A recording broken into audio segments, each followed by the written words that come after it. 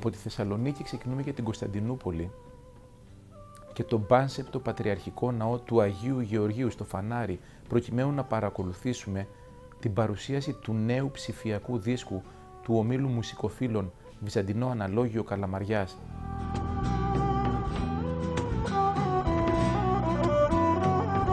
Λόγια της Πλώρης. Τη Δευτέρα 4 Νοεμβρίου στις 8 το βράδυ.